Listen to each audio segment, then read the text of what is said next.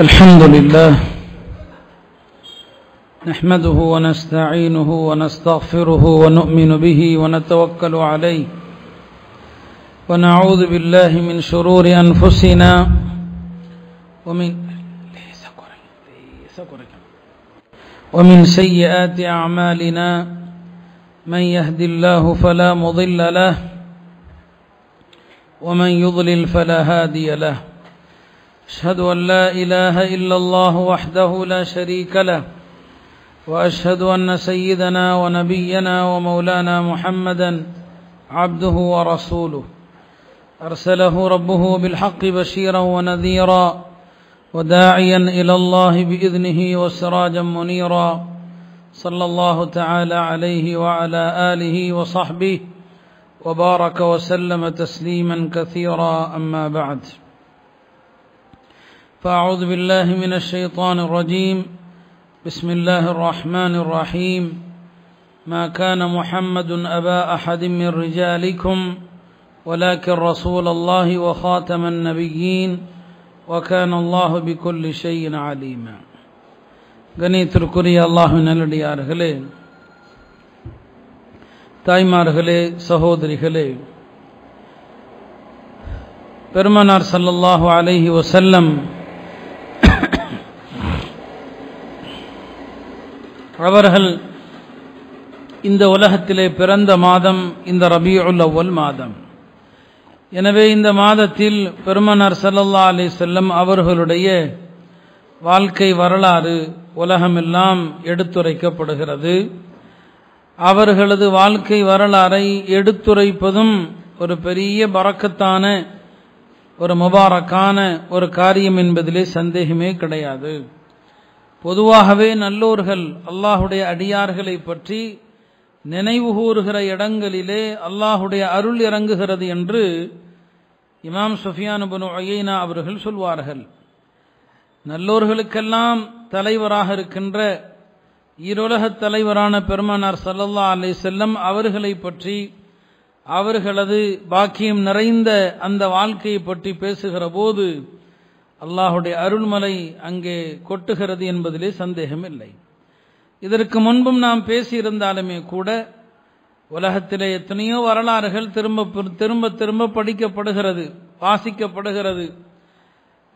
அந்த அடிப்படையில் ரசூல் சல்லா அலிசனுடைய வாழ்க்கையை பொறுத்தவரை எத்தனை முறை நாம் கேட்டாலும் கூட நாம் அதை மீண்டும் மீண்டும் தெரிந்து கொண்டே இருக்க வேண்டும் என்ற அடிப்படையிலே தான் பெருமானார் சல்லல்லா அலிஸ்லாம் அவர்கள் பிறப்பு முதல் இறப்பு வரையிலான சம்பவங்களை சுருக்கமாக இன்றைய பயானிலே சொல்லிக்கொள்ள விரும்புகிறேன்.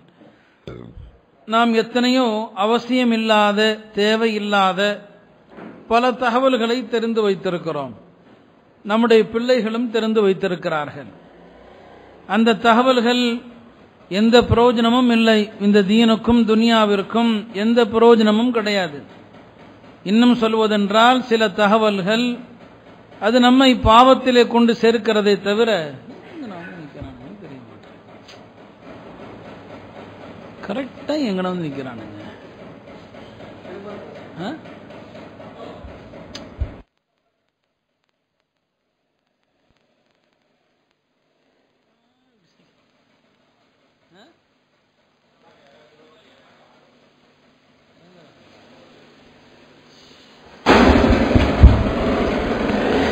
எத்தனையோ அவசியம் இல்லாத தேவையில்லாத பல தகவல்களை நாம் தெரிந்து வைத்திருக்கிறோம். எந்த பிரயோஜனத்திற்கும் உதவாத. ஆனால் அதே நேரத்தில் நல்ல விஷயங்கள் மார்க்கம் தொடர்பான விஷயங்கள் நபிமார்களுடைய வரலாறுகள் பெருமனார் செல்லல்லா அலிஸ்லாமுடைய வாழ்க்கை வரலாறு அவர்களுடைய வாழ்க்கையிலே நடந்த சம்பவங்கள் சஹாபா பெருமக்கள் குறித்த விஷயங்கள் இதை நாம் அறிய முற்படுவது கிடையாது. எனவேதான் அவைகள் பயானாக சொல்ல வேண்டிய அவசியமாக ஆகிறது. அருமையானவர்களே பெருமானார் செல்லல்லா அலிசன் அவர்கள் இந்த உலகத்திலே பிறப்பதற்கு முன்பே அல்லாஹாலா பல அடையாளங்களை பல நிகழ்வுகளை இந்த உலகத்திலே நடக்க செய்தான். நபிமார்கள் வருவதற்கு முன்னாலும் சில அற்புதங்கள் நடக்கும். நபிமார்கள் இந்த உலகத்திலே பிறக்கிற போதும் நடக்கும். அவர்கள் வந்த பிறகும் நடக்கும். இது அல்லாஹுடைய நியதி. நபித்துவத்தை உறுதிப்படுத்துவதற்கு அல்லாஹ் பல அத்தாட்சிகளை காட்டுகிறான். பெருமானார் சல்லல்லா அலிஸ்லாம் அவர்கள் பிறக்கிற அந்த ஆண்டில்தான் ஒரு நபி வரப்போகிற அடையாளமாக மக்கா முக்கர்ரமாவுக்கு அருகிலே நடந்த ஒரு பெரிய நிகழ்வுதான் காபாவை அழிக்க வந்த அபரஹா என்பவனுடைய யானை படையினர். அந்த யானை படையினர் அழிக்கப்பட்ட அவர்கள் வேரோடு ஒடுக்கப்பட்ட அந்த ஆண்டில்தான் பெருமானார் செல்லல்லா அலி செல்லம் அவர்கள் பிறந்தார்கள் என்று சரித்திரம் சொல்கிறது. ஆக இது ரசூல் சல்லா அலிஸ்லாம் அவர்கள் பிறப்பதற்கு அடையாளமாக அல்லாஹத்தாலா காட்டிய ஒரு நிகழ்வு தான் இந்த யானை படையினர் அளிக்கப்பட்ட நிகழ்வு. ஒரு சிறிய சூறாவிலே அல்லாஹத்தாலா அந்த வரலாறை சுருக்கமாக சொல்லி முடித்து விடுவான். அலம் தர கைஃபால ரப்பு கபி அஸ்ஹாபில் ஃபீல். நபியை நீங்கள் கவனிக்கவில்லையா? யானை படையினரை அல்லாஹ் என்ன செய்தான் என்று? இந்த சூறாவிலே அல்லாஹத்தாலா அந்த படையினர் அழிக்கப்பட்ட வரலாறை ஒரு சில ஆயத்துகளிலே கூறி முடிக்கிறான். இது பெருமானார் செல்லல்லா அலிஸ்லாம் அவர்கள் பிறப்பதற்கு முன்பு நடந்த சில நிகழ்வு. அதே போல பெருமானார் செல்லல்லா அலிஸ்லாம் அவர்களுடைய தாயார் ஆமீனா அவருடைய தந்தையார் அப்துல்லா ஆகிய இருவரும் மனமுடிக்கிற அந்த நேரத்தில் மக்காவுடைய கண்ணியமான குடும்பத்தை சார்ந்தவர்கள். ஹதரத் அப்துல்லா அவர்களோ பெருமனார் செல்லல்லா அலிஸ்லாமுடைய தந்தை மக்காவுடைய மிக உயர்ந்த குலம் பனு ஹாஷிம். ஹதரத் இஸ்மாயில் அலி இஸ்லாமுடைய வழித்தோண்டல்கள் அவர்கள் பனு ஹாஷிம். மக்காவிலே குறைஷுகளிலே ஆக உயர்ந்த தூய்மையான ஒரு கூட்டத்தை சார்ந்தவர்கள். அதே போல ஹதரத் ஆமீனா அவர்கள் குறைஷுகுல பெண்களிலேயே மிகவும் தூய்மையான ஒரு பெண். நபிமார்களுக்கு அல்லாஹத்தாலா உயர்ந்த குடும்பத்தை தேர்வு செய்கிறான். அவர்களுடைய பெற்றோர்கள் இருவருமே சராசரி குடும்பத்தை சார்ந்தவர்களாக இருக்க மாட்டார்கள். மிக உயர்ந்த குடும்பத்தை சார்ந்தவர்கள் ஹதரத் அப்துல்லாவும் ஆமினாவும். அவர்கள் திருமணம் செய்து உடனே பெருமானார் செல்லல்லா அலி செல்லம் அவர்களை கருத்தரிக்கிறார்கள். பெருமனார் செல்லல்லா அலிஸ்லாம் அவர்களுடைய கரு ஆமினாவுடைய வயிற்றிலே உருவாக தொடங்கியதிலிருந்து அவர்கள் பல அற்புதங்களை பார்க்கிறார்கள். அவர்களுக்கு வரக்கூடிய கனவுகள் அதிசயமான கனவுகள் எல்லாம் கூட காண்கிறார்கள். இந்த நிலையிலே பெருமனார் செல்லல்லா அலிஸ்னுடைய தந்தை அப்துல்லா அவர்கள் அன்றைய சிரியாவிற்கு வியாபாரத்திற்காக சென்றுவிட்டு திரும்பி வருகிற வழியிலே மதீனா முனவராவிலே அவர்கள் இறந்து விடுகிறார்கள். அதாவது பெருமனார் செல்லல்லா அலிஸ்லாம் அவர்கள் தன்னுடைய தாயாருடைய வயதிலே இரண்டு மாத கற்பமாக இருக்கிற போது அவருடைய தந்தை மதீனா அது பழைய பெயர் எஸ்ரிப் என்று சொல்வார்கள்.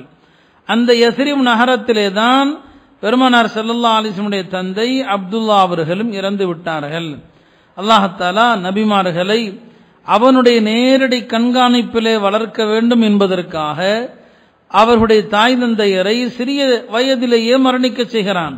நேரடியாக அல்லாஹ் தன்னுடைய கண்காணிப்பில் அவர்களை உருவாக்கணும்னு நினைக்கிறான். எப்படி மூசா அலை இஸ்லாம் பிறந்த நேரத்தில் அல்லாஹத்தலா அவர்களை அவருடைய தாயாரிடமிருந்து பிரித்து விடுகிறான். அல்லாஹ் சொல்லிவிட்டான் கடலிலே அந்த குழந்தையை போடுங்கள் என்று. எடுத்து வளர்த்தது யார்? ஃபிராவுன் ஃபிராவுனுடைய வீட்டிலே தான் மூசா அலை இஸ்லாம் வளர்ந்தாங்க. அல்லாஹ் அதை பற்றி சொல்வான் நீங்கள் நம்முடைய பார்வையிலே வளர்க்கப்படுகிறீர்கள் என்று அல்லாஹ் திருமறையிலே சொல்லி காட்டுவான். இப்போ நபிமார்கள் மீது அல்லாஹுடைய ஒரு விசேஷமான பார்வை உண்டு.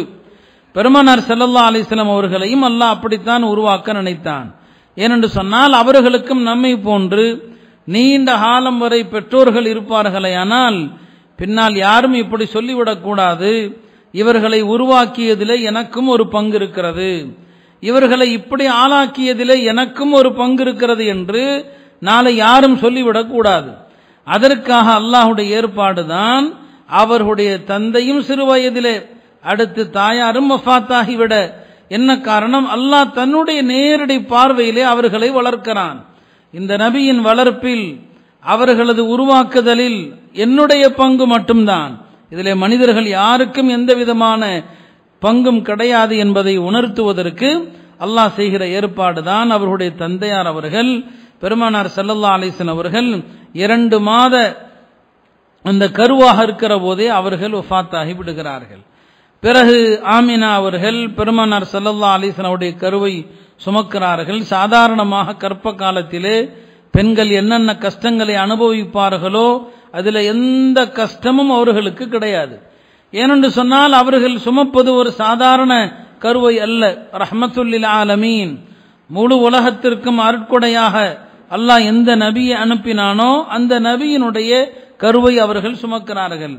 எனவே அது அவர்களுக்கு பாரமாக இருப்பது சரியல்ல. அவர்களுக்கு சுமையாக இருப்பது சரியல்ல. அல்லாஹாலா அந்த கருவை கூட எந்த கஷ்டமும் எந்த சிரமமும் இல்லாமல் உருவாக்குகிறான். பிரசவ நேரத்திலே எல்லா பெண்களும் வலியா வலியை அனுபவிப்பது வலியால் துடிப்பது என்பது உலகத்தினுடைய மறுக்க முடியாத உண்மைகளிலே ஒன்று. அதனால்தான் ஒரு தாயாருக்கு ஒரு மனிதன் என்னதான் பணிவிடை செய்தாலும் சரி அந்த பிரசவ நேரத்தில் அந்த தாய் அனுபவித்த அந்த கஷ்டத்திற்கு நிகராக எந்த ஒரு காரியத்தை செய்தாலும் ஈடாகாது. தன்னுடைய தாயாரை தன் முதுகிலே சுமந்து கொண்டு மக்கா முக்கர்ரமா வரை சென்று தவா செய்தாலும் கூட தன்னுடைய தாயாருக்கு ஒரு மனிதன் அந்த பிரசவ நேர வலிக்கு ஈடாக எதையும் செய்துவிட முடியாது. அது ஒரு மறுபிறவி. என்றுதான் உலமாக்கள் சொல்வார்கள். ஆனால் ரசூல் செல்லா அலிஸ்முடைய தாயாருக்கு அந்த பிரசவ வலியை கூட அல்லாஹத்தாலா தரவில்லை. அவ்வளவு சுகமாகத்தான் அந்த குழந்தை அவர்கள் பெற்றெடுக்கிறார்கள். பெருமனார் சல்லா அலிஸ்லாம் அவர்கள் பிறக்கிற அந்த நேரத்திலே அவர்கள் பிறந்தது மாத்திரமல்ல அவர்கள் பிறக்கிற போது ஒரு ஒலியும் சேர்ந்துதான் பிறக்கிறது. அந்த ஒலி அன்றைய சிரியா தேசத்தினுடைய மாளிகைகளை எல்லாம் ஒளிரச் செய்தது என்பதாக முசனத் அகமதுடைய ரிவாயத்துகளிலே அறிவிப்புகளிலே நாம் பார்க்கிறோம். பெருமானார் செல்லல்லா அலிஸ்லாம் அவர்கள் பிறந்த நேரத்திலே பல பகுதிகளிலே அதிசயங்களும் நடக்கிறது. நிறைய பேருக்கு தெரிகிறது உலகத்திலே ஏதோ ஒரு அதிசயம் நடந்திருக்கிறது.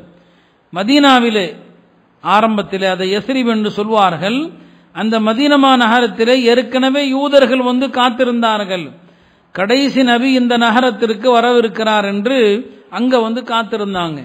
எப்போது நபி ஸல்லல்லாஹு அலைஹி அவர்கள் பிறந்தார்களோ அந்த நேரத்திலே மதீனாவிலே வாழ்ந்த பெருமானார் ஸல்லல்லாஹு அலைஹி அவர்களை புகழ்ந்து பாடுகின்ற கவிஞர்களில் ஒருவராயிருந்த ஹஸ்ஸான் பொண்ணு சாபித்.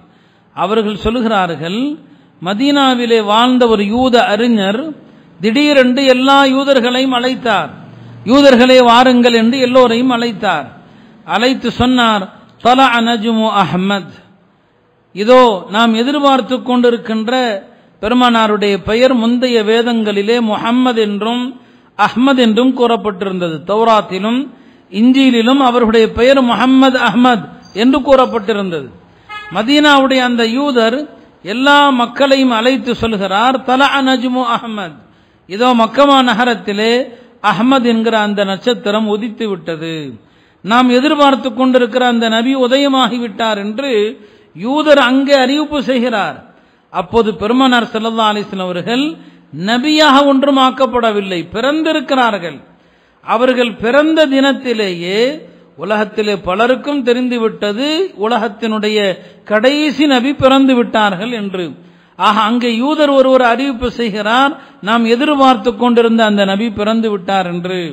இப்படி எத்தனையோ ஜோசியக்காரர்கள் குறி சொல்லக்கூடியவர்கள் அவர்களெல்லாம் வானலோகத்திலே பல அதிசயங்கள் நடப்பதை பார்க்கிறாங்க. இதற்கு முன்னால் அவர்கள் பார்த்திராத ஒரு அதிசயம் நடப்பதை அவர்கள் பார்க்கிறார்கள்.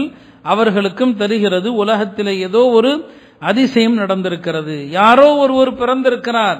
அல்லாவுக்கு ஓப்பான ஒரு மனிதர் பிறந்திருக்கிறார் என்பதை அவர்களும் கணித்து சொன்னதாக பல சரித்திரங்களை பார்க்கிறோம். இதுவெல்லாம் அல்லாஹ் அவர்களுக்கு வழங்கிய கண்ணியம் அல்லாஹ் அவர்களுக்கு வழங்கிய அற்புதங்களிலே ஒன்று அவர்கள் நபியாக ஆவதற்கு அறிவிக்கப்படுவதற்கு முன்னால் அவர்கள் பிறந்த செய்தியை அல்லாஹ் உலகம் முழுவதும் வெளிப்படுத்திய நிகழ்வை பார்க்கிறோம். ஹதரத் ஆமினா அவர்கள் பெருமானார் சல்லல்லா அலிஸ்லாம் அவர்களை பெற்றதுமே பெருமானாருடைய பாட்டனாராகிய அப்துல் முத்தலீம் அவர்களை அழைத்து சொன்னார்கள் உங்களுக்கு பேரன் பிறந்திருக்கிறான் என்று. அப்துல் முத்தலிப் அவர்கள் அந்த குழந்தையை வாங்கி கொண்டு காபாவிலே வந்து அல்லாஹுக்கு நன்றி செலுத்தி துவா செய்கிறார். அங்கேயே முகம்மது என்று பெயரும் வைக்கிறார். பொதுவாக அரபுகள் இப்படி பெயர் வைத்து பழக்கம் கிடையாது. பெருமனார் சல்லல்லா அலிஸ்லாம் அவர்களுக்கு முன்னால் அரபுகளில் இந்த பெயர் யாருக்கும் வைக்கப்பட்டதில்லை. முகம்மது என்கிற இந்த பெயர். பெருமனார் சல்லல்லா அலிஸ்லாம் அவர்களுக்கு தான் முதலிலே இந்த பெயர் வைக்கப்படுகிறது. உண்மையிலுமே இந்த பெயர் அவர்களை விட வேறு யாருக்கும் பொருத்தமல்ல. முகம்மது என்று சொன்னால் புகழப்பட்டவர் புகழுக்குரியவர் என்று அர்த்தம். ஹசான் புனு சாபித் என்ற கவிஞர் தன்னுடைய கவிதைகளிலே அழகாக இப்படி சொல்லி காட்டுவார். அல்லாஹாலா தன்னுடைய பெயரோடு பெருமானாருடைய பெயரையும் சேர்த்து கொண்டான். எனவேதான் பாங்கு சொல்லுகிற போது அஷது அல்லா இலாஹ இல்லல்லா என்று சொல்லும் போது அஷஹது அன்ன முகமது ரசூலுல்லாவும் சொல்லப்படுகிறது என்று சொல்லிவிட்டு சொல்வார். தன் பெயரிலிருந்தே அல்லாஹ் தன்னுடைய நபியுடைய பெயரையும் தேர்வு செய்திருக்கிறான். தன் பெயரிலிருந்தே அல்லாஹ் தன்னுடைய நபியின் பெயரையும் தேர்வு செய்திருக்கிறான். தன்னுடைய நபியை கண்ணியப்படுத்துவதற்காக சொல்லிவிட்டு சொல்வார். அரசுக்குரியவன் மஹமூத் என்று சொன்னால் இந்த நபி அஹமதாக இருக்கிறார். ஃபதுல் அர்ஷி மஹமூதுன் வஹாதா அஹ்மத். அர்ஷுக்குரிய ரப்ப இருக்கிறானே அவன் மஹமூதாக இருக்கிறான் அவனுடைய நபியோ அஹமதாக இருக்கிறார்கள். மஹமூத் அஹமத் இரண்டுமே ஒரே வேர் சொல்லிலிருந்து வந்த வார்த்தைகள். ஆக முகம்மது என்கிற இந்த பெயர் உலகத்தில் அதற்கு முன்னால் யாருக்கும் வைக்கப்படவில்லை. பெருமனார் சல்லல்லா அலிசன் அவர்களுக்கு தான் முதலிலே வைக்கப்படுகிறது. பெருமனார் சல்லல்லா அலிசன் அவர்கள் பிறந்த பிறகு முதல் ஏழு நாட்கள் அவர்களுடைய தாயார் ஆமினா அவர்கள் பாலூட்டுகிறார்கள். பெருமானாருக்கு இரண்டாவதாக பாலூட்டியது சுவைபா என்கிற ஒரு பெண்மணி அபூலஹபுடைய அடிமை பெண். அந்த பெண்ணும் பெருமானார் சல்லல்லா அலிஸ்லாம் அவர்களுக்கு பாலூட்டினார்கள். அதே போல உம்மு ஐமன் ரதி அல்லாஹு அன்ஹா அவர்களும் பெருமானார் சல்லல்லா அலிஸ்லாம் அவர்களுக்கு பாலூட்டினார்கள். அடுத்து கிராமத்திலிருந்து வருகை தந்த ஒரு பெண்மணி ஹலீமா சாதியா என்று சொல்வார்கள். அந்த காலத்தினுடைய வழக்கப்படி கிராமத்திலிருந்து பெண்கள் வந்து நகர்ப்புறங்களுக்கு வந்து குழந்தைகளை வாங்கி கொண்டு பால் ஊட்டுவாங்க. அதற்கு கூலியும் வாங்கி கொள்வாங்க. அப்படி பெருமானார் செல்லா அலிசனுடைய பிறந்த நேரத்தில் இந்த ஹலீமாங்கிற பெண்ணும் மக்கா வந்தார்கள். யாராவது பணக்கார வீட்டு குழந்தைகள் கிடைத்தால் வாங்கி செல்லலாம் என்று. ஆனால் அவர்களுக்கு யாருமே கிடைக்கல. பெருமானார் செல்லல்லா அலிஸ்லாம் அவர்கள்தான் கிடைத்தார்கள். ஆனாலும் அந்த ஹலீமா அவர்களுக்கு பெருமானாருக்கு பாலூட்டுகிற பாக்கியம் கிடைத்ததுனாலே அவர்கள் நிறைய செழிப்பையும் கண்டாங்க. அதற்கு முன்னால் அந்த பெண்ணுக்கு அவ்வளவாக பால் சுரப்பது கிடையாது. தன்னுடைய மகனுக்கு கூட போதுமான அளவுக்கு அவர்களிடத்திலே பால் இருந்தது இல்லை அவங்களுடைய வீட்டு பிராணிகள் ஒட்டகம் அதுலேயும் போதிய அளவுக்கு பால் இருக்காது. எப்போது நபிசல்லா அலிஸ்லாம் அவர்களை சுமந்து கொண்டு அந்த பெண்மணி சென்றார்களோ வழக்கத்திற்கு மாற்றமாக அந்த பெண்ணுடைய பாலையும் அல்லாஹ் பறக்க செய்கிறான். தன்னுடைய குழந்தைக்கும் ரசூல் சல்லா அலிஸ்லாம் அவர்களுக்கும் நிரப்பமாக பாலூட்டுகிறார்கள் வீட்டிலே சென்று பார்த்தால் அவர்களுடைய ஒட்டகம் கால்நடைகள் எல்லாமே செழித்தோங்கி இருக்கிறது. இது ரசூல் சல்லா அலிஸ்லாவுடைய பறக்கத்தினால் அல்லாஹ் கொடுத்தது. அந்த பெண்ணிடத்திலே இரண்டாண்டு காலங்கள் வளருகிறார்கள் ரசூல் சல்லா அலிஸ்லாம் அவர்கள்.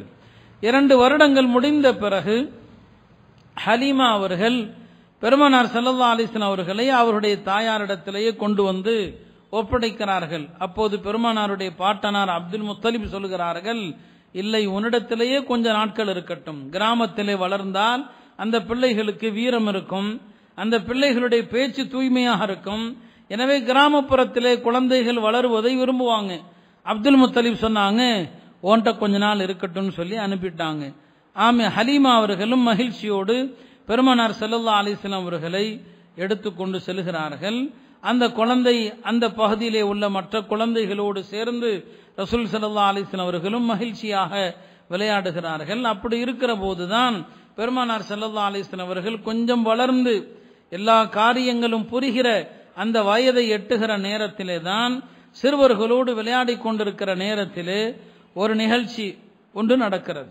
அதை பார்த்து சிறுவர்கள் எல்லாம் அரண்டு விட்டார்கள். பெருமானார் செல்லல்லா அலிஸ்லாம் அவர்கள் விளையாடி கொண்டிருக்கிற நேரத்திலே இரண்டு மலக்குகள் வருகிறார்கள். ஜிப்ரீல் அலிஹிஸ்லாம் அவர்களும் வருகிறார்கள்.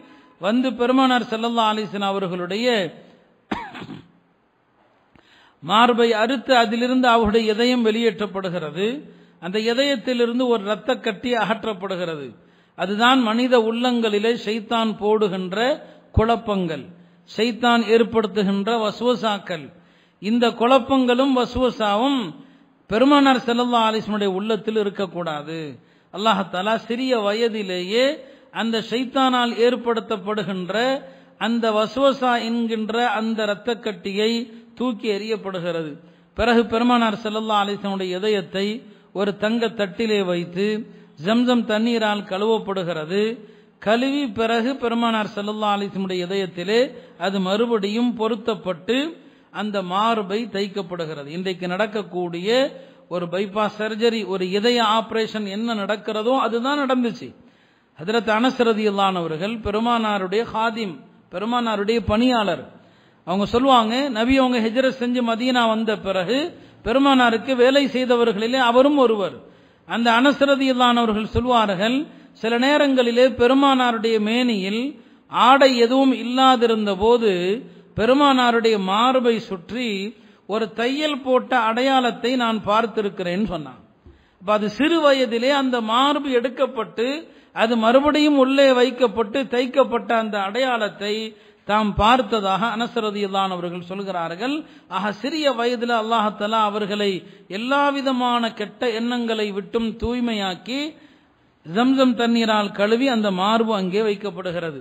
இந்த காட்சியை பார்த்த சிறுவர்கள் எல்லாம் பயந்து ஹலீமா அவர்களிடத்தில் சென்று முகம்மது சல்லா அலிசல்லம் அவர்கள் கொல்லப்பட்டு விட்டார்கள். யாரோ கொன்னுட்டாங்கன்னு சொல்லி அவங்க பிள்ளைங்க சின்ன பிள்ளைங்க தெரியல.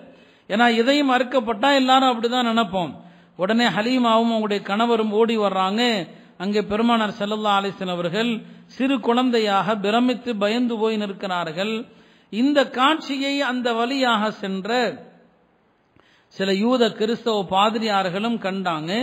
அவர்களுக்கு ஏற்கனவே வேதத்திலே கடைசி நபிக்கு என்னவெல்லாம் நடக்கும் அதுவெல்லாம் சொல்லப்பட்ட காரணத்தினால அந்த பாதிரிமார்கள் எல்லாம் ஹலீமாவிடத்திலே இந்த குழந்தை எங்களிடம் ஒப்படைத்து விடுங்கள். நாங்கள் எங்கள் நாட்டுக்கு சென்று இந்த குழந்தையை அரசராக மன்னராக ஆக்குகிறோம் என்று சொல்றாங்க. அதற்கு ஹலீமா குழம்பி போய்விட்டார்கள்.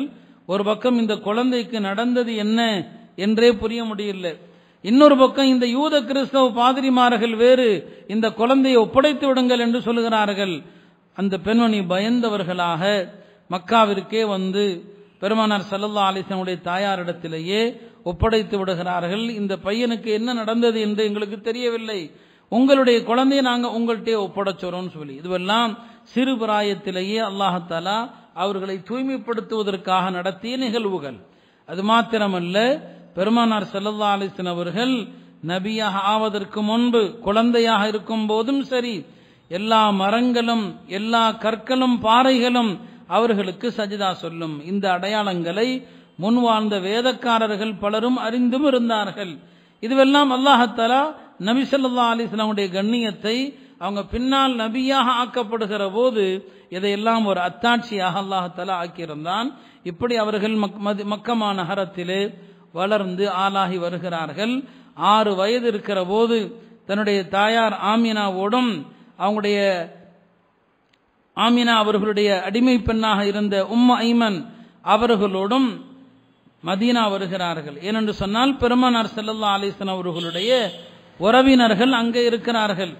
பெருமானார் செல்லல்லா அலிஸ்லாம் அவங்களுடைய உறவினர் ரசூல் சிலா தந்தை அப்துல்லாவுடைய மாமுமார்கள் மதீனால இருக்கிறாங்க. ஆறு வயதாக இருக்கிற போது அவங்கள கூப்பிட்டுட்டு மதீனா வர்றாங்க. அங்கே சில நாட்கள் தங்கிவிட்டு மதீனாவிலிருந்து தன்னுடைய மகனை அழைத்து கொண்டு திரும்பி வருகிறார்கள். ஆமீனாவும் உம் ஐமன் அவர்களும் வருகிற வழியிலே தான் மக்கா மதீனாவுக்கு இடையிலே உள்ள ஒரு பகுதியில் தான் பெருமானார் செல்லல்லா அலிஸ்லமுடைய தாயார் அவர்களும் மரணித்து விடுகிறார்கள். அந்த நேரம் எப்படி இருக்கும் யோசித்து பாருங்கள். நான் ஆரம்பத்திலே சொன்னது போல அல்லாஹுடைய ஏற்பாடு அல்லாஹ் தன்னுடைய நேரடி பார்வையில் தன்னுடைய நபியை வளர்க்க வேண்டும் என்று எண்ணினான். வழியிலேயே அவர்களும் இறந்து விட்டார்கள். உம் ஐமன் ரதி தனி ஒரு பெண்ணாக ஹதரத் ஆமினா அவர்களை அங்கே அடக்கம் செய்கிறார்கள். பெருமானார் செல்லல்லா அலிஸ்லாம் அவர்கள் அழுகிறார்கள். சிறு குழந்தை. அவங்க தான் தூக்கி கொண்டு மக்கா வரைக்கும் வர்றாங்க. பின்னால ரசூல் சல்லா அலிஸ்லாம் அவர்கள் ஹஜ்ஜுக்கு வருகிற நேரத்திலே தன்னுடைய தாயாருடைய கபரை ஜியாரத்து செய்வதற்கு அனுமதி கேட்பார்கள். அல்லாஹும் அனுமதி கொடுப்பான். அங்கே வந்து ரசூல் சல்லா அலிஸ்லாம் அவர்கள் குத்துக்காலிட்டு அமர்ந்து அழுவார்கள். தன்னுடைய தாயாருடைய அந்த மன்னரைக்கு வந்து பெருமானார் சல்லல்லா அலிஸ்லாம் அவர்கள் அழுதார்கள். அவர்கள் அழுததை பார்த்து சுற்றியிருந்தவர்கள் எல்லாம் அழுதார்கள் என்ற ஹதீஸிலே பதிவு செய்யப்படுகிறது. உம் ஐமன் ரதி அல்லான்ஹா பெருமானாரை அழைத்து கொண்டு மக்கா வந்து அவருடைய பாட்டனார் அப்துல் முத்தலிபிடமே ஒப்படைக்கிறார்கள். அவர்களும் மஃபாத்தான பிறகு அபு தாலிப் அவர்கள் பொறுப்பெடுக்கிறார்கள். பிறகு நீண்ட காலம் அபு தாலிப் அவருடைய பராமரிப்பில் தான் பெருமானார் செல்லல்லா அலிசன் அவர்கள் வளர்ந்து வருகிறார்கள். அவர்கள் வளர்ந்து வருகிற அந்த காலகட்டங்களில் எல்லா வகையான தீங்குகளிலிருந்தும் அல்லாஹ் அவங்கள பாதுகாக்கிறான். எந்த அளவுக்குன்னு சொன்னா மக்கா முக்கரமா கட்டப்படுகிற நேரத்திலே பல முறை மக்கா முக்கரமா காபத்துல்லா கட்டப்பட்டிருக்கிறது. அப்படி கட்டப்படுகிற நேரத்திலே சிறுவர்கள் எல்லாம் அவர்கள் கற்களை சுமந்து கொண்டு வர்றாங்க. அதில் சில சிறுவர்கள் தங்களுடைய ஆடையை அவிழ்த்து நிர்வாணமாக அதிலே செங்கல்லை வைத்துக்கொண்டு கற்களை வைத்துக்கொண்டு வருவார்கள். ஆனால் பெருமானார் செல்லல்லா அலிஸ்லம் அவர்களையும் சில சிறுவர்கள் அவங்க அணிந்திருக்கிற அந்த கீழாடை அவங்க அணிந்திருக்கிற அந்த லுங்கியை கலட்ட சொன்னபோது பெருமானாருக்கு அல்லாஹ் மயக்கத்தை கொடுத்துறான் ஏன்னா நவீன நிர்வாணமாக ஆகக்கூடாது. சிறிய வயதிலிருந்தே அவர்களது மறைவிடத்தை கூட யாரும் பார்க்கக்கூடாது என்று அல்லாஹ் செய்த ஏற்பாடு அப்படி நடக்காமல் அது நடக்கலாம் என்று நினைக்கிற போது அவங்களுக்கு மயக்கம் வந்து விடுகிறது. இப்படி அல்லாஹாலா அவர்களை தூய்மையாக வளர்க்கிறான். பெருமானார் செல்லல்லா அலிசன் அவர்கள் அபு தாலிபுடைய அரவணைப்பிலே வளர்ந்து வருகிறார்கள். வாலிப வயதையும் அடைகிறார்கள். மக்கா முக்கர்ரமாவுடைய ஒரு பணக்கார ஒரு சீமாட்டி பெண்மணி ஹதரத் ஹதீஜா ரதி அல்லாஹூ அன்ஹா. அவங்க விதவை பெண்ணாக இருந்தாங்க. பெரிய பணக்கார பெண்மணி பல ஆண்களிடத்தில் தன்னுடைய செல்வத்தை கொடுத்து சிரியாவுக்கு சென்று வணிகம் செய்ய வைத்து தனக்கு ஒரு லாபம் அந்த ஆண்களுக்கு ஒரு லாபத்தையும் கொடுத்து விடுவார்கள். இந்த நிலையில தான் ஹதீஜா ரதியல்லானாக கேள்விப்படுகிறார்கள் இந்த மக்கமா நகரத்திலே வளர்ந்து வருகின்ற ஒரு வாலிபர் முகமது சல்லா அலிஸ்லாம் அவர்கள் அவங்களுடைய நேர்மையை பற்றி அவங்களுடைய நம்பிக்கையை பற்றி அவங்களுடைய நல்லொழுக்கத்தை பற்றி மக்கமா நகரமே பேசுகிறது. ஏன்னா அந்த மாதிரி ஒரு கண்ணியத்தோடு தான் பெருமானார் செல்லல்லா அலிசன் அவர்கள் உருவாகி வருகிறார்கள். இப்ப கேள்விப்பட்டு தன்னுடைய அடிமை மைசராவிடத்திலே சொன்னார்கள் போய் முகம்மது அவர்களை அழைத்து கொண்டு வா என்று அவர்களும் அழைத்து வந்த நேரத்திலே என்னுடைய பொருளை எடுத்து செல்லுங்கள் உங்களுக்கு இவ்வளவு லாபம் தருகிறேன். பெருமானார் செல்லல்லா அலிசன் அவர்களும் அதை ஏற்றுக்கொண்டு ஹதீஜா ரதியலானுடைய அடிமையோடு மைசராவோடு இருவருமாக சேர்ந்து சிரியா செல்கிறார்கள். பெருமானார் சல்லல்லா அலிஸ்லாம் அவர்களும் மைசராவும் சென்று வியாபாரம் செய்துவிட்டு லாபத்தோடு திரும்பி வருகிறார்கள். வந்த பிறகு ஹதீஜாவுடைய அடிமை மைசரா அவர்கள் சொல்கிறார்கள் முகமது சல்லா அலிஸ்லாம் அவர்களிடத்திலே கண்ட அந்த நேர்மை அவர்களுடைய உயர்ந்த குணம் அவர்களிடத்திலே தாம் கண்ட அற்புதங்கள் வழியில என்னென்ன நடந்ததோ எல்லாவற்றையும் சொல்கிறார். அதையெல்லாம் கேள்விப்பட்ட போது ஹதரத் ஹதீஜாவுடைய உள்ளத்திலே பெருமனார் செல்லல்லா அலிஸ்லாம் அவர்களை மணமுடிக்கலாம் என்ற ஆசை வருகிறது. பெருமானார் செல்லல்லா அலிஸ்லாம் அவர்களுடைய பொறுப்புதாரிகளிடத்தில் தன்னுடைய விருப்பத்தை சொல்லி அனுப்புகிறார்கள். பெருமானாருடைய பெரிய தந்தைமார்கள் பலரும் இருந்தார்கள். ஹதரத் அபு தாலிப் இருந்தார்கள் ஹம்சா இருந்தார்கள். இவர்கள் இருவருமாக வந்து ஹதீஜா அவர்களை பெருமானார் செல்லல்லா அலிஸ்லாம் அவர்களுக்கு பெண் பேசி முடிக்கிறார்கள். அரபுகளுடைய அந்த பாரம்பரிய முறைப்படி பெண் பேசி அந்த முடிக்கப்படுகிறது. பிறகு ரசூல் சல்லா அலிஸ்லாம் அவர்களுக்கும் ஹதரத் ஹதீஜா அவர்களுக்கும் திருமணமும் நடக்கிறது. அல்லாஹலா நபி சொல்லா அலிஸ்லாம் அவர்களுக்கு ஹதீஜா ரதியல்லான்ஹா அவர்கள் மூலமாகத்தான் ஏராளமான குழந்தைகளையும் அவர்கள் மூலமாகவே கொடுத்தான். எல்லாமே அவங்களுக்கு முன்னால மூத்தாயிட்டாங்க. பெருமானார் செல்லல்லா அலிஸ்லாம் அவங்களுக்கு முன்னால அது வேறு விஷயம். ஆக இருவருக்குமாக திருமணமும் நடக்கிறது. இருவரும் மகிழ்ச்சியாக வாழ்ந்தும் வருகிறார்கள்.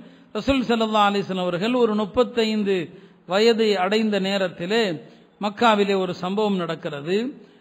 ஒரு வெள்ளத்திலே காபத்துல்லா பாதிக்கப்பட்டு அதை முழுமையாக இடித்து மக்காவாசிகள் அதை கட்டுறாங்க. அப்படி கட்டுகிற நேரத்திலே காபத்துல்லாவை கட்டி முடித்தாகிவிட்டது. காபாவுடைய ஒரு ஓரத்திலே ஹஜர் அலசுவதை வைக்க வேண்டும். ஹஜ்ஜுக்கு உமராவுக்கு சென்றவர்களுக்கு தெரியும். ஒரு மூலையிலே ஒரு ஓரத்திலே அது பதிக்கப்பட்டிருக்கிறது. இந்த ஹஜர் அலசுவது கல் புனிதமானது என்பது மக்காவாசிகளுக்கும் அவர்கள் காலங்காலமாக நம்பி வருகின்ற ஒன்று. இந்த கல்லை எடுத்து யார் வைப்பது? மக்காவுடைய பிரதான குடும்பங்கள் எல்லோரும் போட்டி போட்டுக் கொள்றாங்க நாங்க தான் எடுத்து வைப்போம் என்று. இந்த நேரத்தில் என்ன செய்வது? பயங்கரமான குழப்பம். கொஞ்சம் விட்டுட்டோம்னு சொன்னா அந்த காலத்தில் சண்டை வந்துடும் சண்டை ஆரம்பிச்சா யுத்தம் ஆயிடும். யுத்தம் வந்தா பல வருஷங்கள் நீடிக்கும். பல ஆண்கள் கொல்லப்படுவார்கள். பல பெண்கள் விதவி ஆவாங்க பல குழந்தைகள் அனாதை ஆவார்கள் அந்த மாதிரி ஒரு சூழ்நிலை ஏற்படுகிறது. அந்த நேரத்திலே ஒருவர் சொன்னார் நமக்கு மத்தியிலே பிரச்சனை வேண்டாம். நாளை அதிகாலை பொழுதில் இந்த காபாவுக்குள் முதலில் யார் வருகிறாரோ அவர் தீர்ப்பு செய்யட்டும். அவர் என்ன முடிவு சொல்கிறாரோ அந்த முடிவை எல்லாரும் ஏற்றுக்கலாம்னு சொல்லி. இது ரொம்ப அழகான ஆலோசனையாக இருந்தது. அங்கிருந்தவர்கள் எல்லாருமே ஒத்துக்கொண்டாங்க ஏற்றுக்கொள்கிறோம். காலை யார் முதலில் வருகிறாரோ அவர் செய்கிற முடிவு இறுதி முடிவு. மறுநாள் எல்லோரும் ஆவலோடு காத்திருக்கிற போதுதான் பெருமனார் செல்லல்லா அலிசன் அவர்கள் அதிகாலை பொழுதிலேயே காபாவுக்கு வருகிறார்கள். ஏன்னா நபிமார்கள் இணை வைக்க மாட்டார்கள். நபித்துவத்திற்கு முன்னாலும் இணை வைப்பு என்பது நபிமார்கள்ட்ட இருக்காது. அவங்க அல்லாஹ் மட்டும்தான் வணங்குவாங்க. பெருமனார் செல்லல்லா அலிஸ்லாம் அவர்களை பார்த்ததுமே எல்லோருடைய முகத்திலும் மலர்ச்சி பொன்முறுவல்.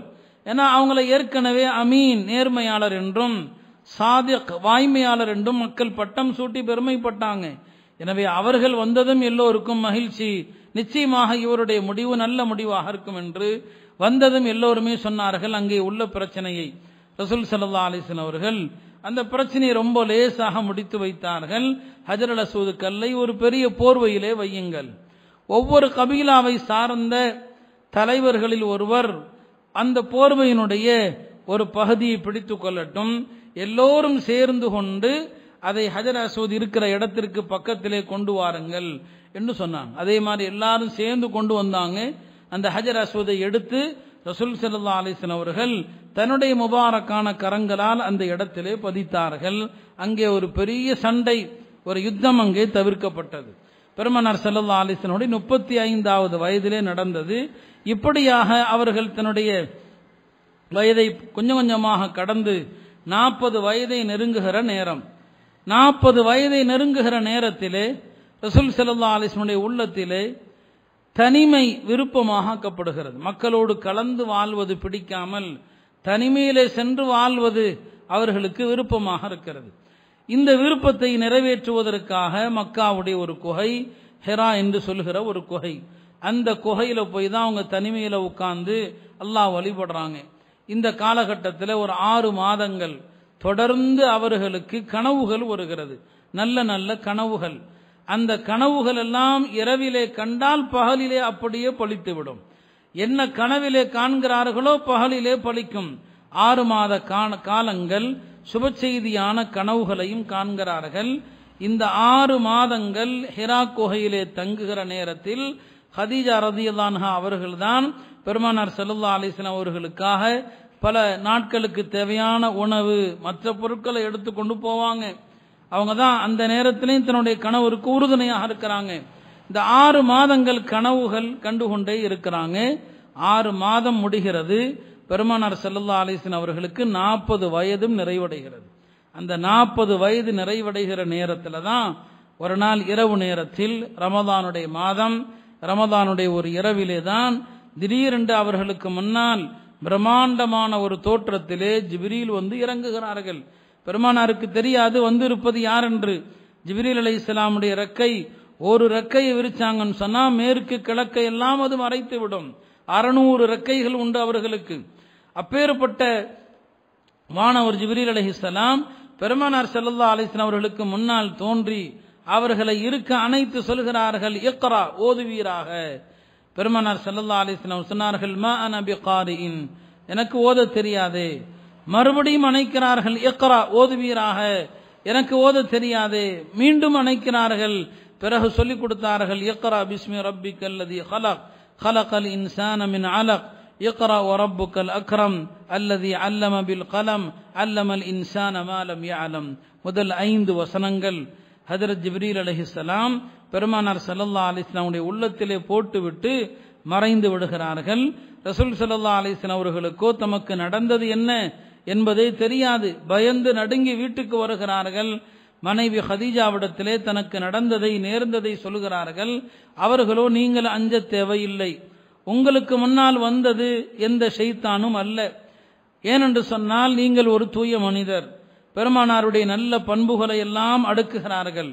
நல்ல பண்புகளை எல்லாம் சொல்கிறார்கள் நீங்கள் உறவுகளை அரவணைக்கக்கூடியவர்கள். இல்லாத மக்களுக்கு உதவி செய்யக்கூடியவர்கள். மக்கள் சோதனைகளிலே பாதிக்கப்படுகிற போது அந்த சோதனையிலே பங்கெடுக்கக்கூடியவர்கள். விருந்தினர்களை எல்லாம் கண்ணியப்படுத்தக்கூடியவர்கள். அப்படிப்பட்ட உங்களை அல்லாஹ் ஒருபோதும் கேவலப்படுத்த மாட்டான். ஒரு மனைவியினுடைய வாக்கு மூலம் இது. தன் கணவனை பற்றி ஒரு மனைவி தர வேண்டிய ஒரு வாக்கு மூலம் பெருமானார் செல்லல்லா அலிசன் அவர்களை முழுமையாக அன்னை ஹதீஜா அவர்கள் மதிப்பிட்டிருந்தார்கள். எப்படிப்பட்ட ஒரு மனிதர் தன் கணவர் என்பதை அது அந்த நேரத்தில் வெளிப்படுத்தினார்கள். அல்லாஹ் உங்களை இழிவுபடுத்த மாட்டான். பிறகு மறுநாள் அதரது ஹதீஜா அவர்கள் தன்னுடைய உறவினர்களில் ஒருவரான வரக்கத்துபனு நௌஃபல் அவர் வந்து இஞ்சில் வேதத்தை படித்துக் கொண்டிருந்தார். இஞ்சில் வேதத்தை வந்து அரபி மொழியில மாத்திட்டு இருந்தார். ஹெப்ரு மொழியிலிருந்து அரபி மொழிக்கு.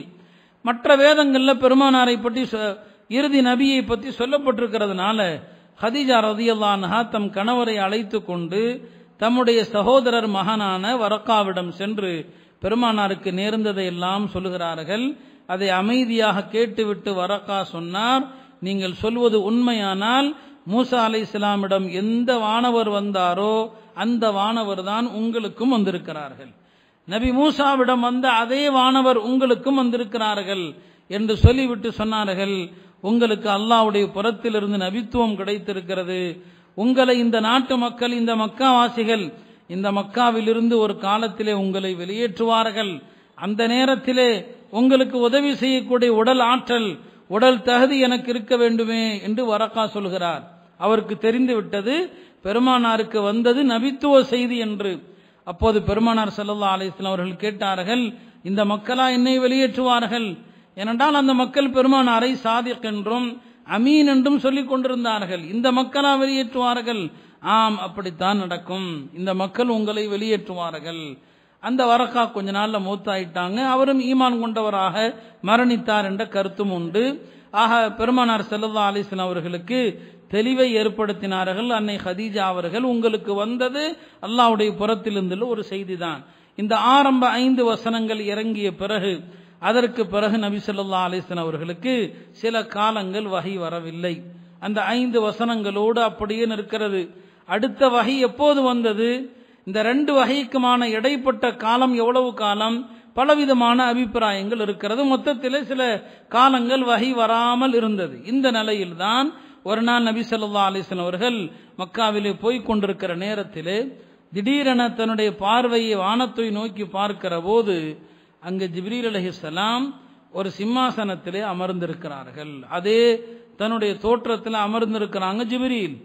ஜிப்ரீல் அலி இஸ்லாமை பார்த்ததும் பெருமானாருக்கு அதே பயம் வந்து விட்டது. இது ரெண்டாவது முறை பார்க்குறாங்க. ஜிப்ரீல் அலி இஸ்லாமுடைய அசல் தோற்றத்தில் பார்க்குறாங்க. பார்த்து விட்டு பயந்து நடுங்கியவர்களாக அப்போதுதான் தம்முடைய வீட்டுக்கு வந்து சொல்வார்கள் ஜம்மிலோனி என்னை போர்த்துங்கள் ஒரு போர்வையால். ஏன்னா அவங்களுக்கு ஒரு மாதிரி குளிர் காய்ச்சல் அப்போ ஹதீஜா ரதியுல்லான்ஹா பெருமனார் சல்லல்லா அலிஸ்லாம் அவர்களை போர்த்துகிறார்கள். அந்த நேரத்தில் தான் அடுத்த வகை வருகிறது. யக்ரா பிஸ்மிக்கு பிறகு வந்த வகை. அல்லாஹ் இந்த வசனங்களை இறக்கினான். யா ஐயுஹல் முத்தசிர் போர்வையால் போர்த்தியிருப்பவரே கொம் எழுந்து மக்களை எச்சரிக்கை செய்யுங்கள். ஓ சியாபக ஃபதஹிர். உம்முடைய ஆடைகளை எல்லாம் தூய்மைப்படுத்துங்கள். ஒரு ருஜுத ஃபஹ்ஜுர். இந்த சிலை வை சிலை வணக்கம் இணை வைப்பு இதிலிருந்தெல்லாம் விட்டு விலகி இருங்கள் என்ற இந்த ஆயத்துகள் இறங்குகிறது. இந்த ஆயத்து இறங்கிய பிறகுதான் ரசூல் சல்லா அலைஹி அவர்கள் மக்களுக்கு தூதுத்துவ செய்தியை நபித்துவ செய்தியை எத்தி வைக்கும்படி பணிக்கப்படுகிறார்கள் உத்தரவிடப்படுறாங்க. முதல்ல வந்தது நபியாக ஆக்கப்பட்ட செய்தி. ஆனால் மக்களுக்கு சொல்லும்படி அல்லாவுடைய உத்தரவு வரல. இந்த ரெண்டாவது வகையில தான் மக்களுக்கு எடுத்து சொல்வீராக. மக்களுக்கு இதை எத்தி வைப்பீராக என்ற கட்டளை பெருமானார் செல்லல்லா அலைஹி அவர்களுக்கு வருகிறது.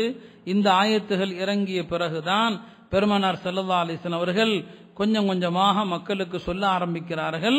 அவர்களை கொண்டு முதலில் ஈமான் கொண்டது அவர்களுடைய மனைவி ஹதரத் ஹதீஜா ரதி அன்ஹா. அவங்க இருந்த வரைக்கும் எல்லா வகையிலும் பக்கபலமா இருந்தாங்க. அதனுடைய அதனுடைய பரிசு தான் ஒரு முறை புகாரியிலே வரக்கூடிய ஹதீஸ். அல்லாஹ் நபிக்கு சொன்னான் நபியே உங்களுடைய மனைவி ஹதீஜாவிற்கு என் சலாமை சொல்லுங்கள். பொதுவாக அல்லாஹ் யாருக்கு சலாம் சொல்லுவான்? நபிமார்களுக்கு தான். குரான்ல நீங்க பார்க்கலாம் சலாமுன் அலல் முர்சலீன். இறை தூதர்கள் மீது சலாம் உண்டாகுக. சலாமுன் அலா நூஹ். நூஹுக்கு சலாம் உண்டாகுக. சலாமுன் அலா இப்ராஹிம். இப்ராஹீமுக்கு சலாம் உண்டாகுக. மூசா ஹாரூனுக்கு சலாம் உண்டாகுக. நபிமார்கள் மீது தான் அல்லாஹ் சலாம் சொல்லியிருக்கிறான் குரான்ல ஆனால் மனிதர்களில் அல்லாஹ் ஒரு நல்லடியாருக்கு சலாம் சொல்லி அனுப்பினான் என்று சொன்னால் அன்னை ஹதீஜா அவர்களுக்கு மட்டும்தான் அந்த சிறப்பு. பெருமானாரிடத்தில் சொன்னான் உங்கள் துணைவியார் அன்னை ஹதீஜாவுக்கு என் சலாமை சொல்லுங்கள். ரசூல் சல்லா அலிஸ்லாம் அவர்களும் சொன்னார்கள் அல்லாஹ் உங்களுக்கு சலாம் சொல்லியிருக்கிறான். அதற்கு ஹதீஜா சொன்னார்கள் அல்லாஹ் தான் சலாமாக இருக்கிறான். அல்லாஹ்வுடைய திருநாமத்தில் ஒன்று அஸ்ஸலாம் அல் முஹ்மீன் அவன்தான் சலாமாக இருக்கிறான். அவனிடமிருந்து தான் சாந்தியும் கிடைக்கிறது என்று அவர்கள் பதில் சொன்னதாக ஹதீஸிலே பதிவு செய்யப்பட்டதை பார்க்கிறோம். முதல்ல அவங்க ஈமான் கொண்டாங்க. அதற்கு பிறகு அபுபக்கர் ரதியல்லான் அவர்கள் ஈமான் கொண்டாங்க.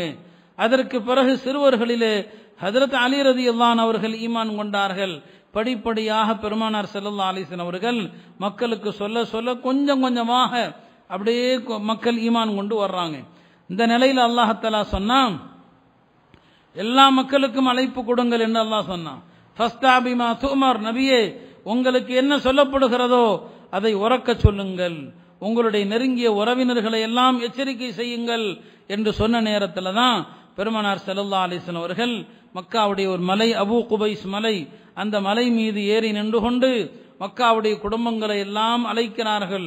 எல்லோரும் வந்து சேர்ந்து விட்டார்கள். சொன்னார்கள் இந்த மக்க இந்த மலைக்கு பின்னால் இருந்து ஒரு படை உங்களை அழிக்க வருகிறது என்று சொன்னால் என்னை நம்புவீர்களான்னு கேட்டாங்க. இந்த மக்கள் சொன்னார்கள் நீங்கள் சொன்னால் நம்புவோம். ஏன்னா உங்களை நாங்கள் பொய் சொல்லி கண்டது கிடையாது.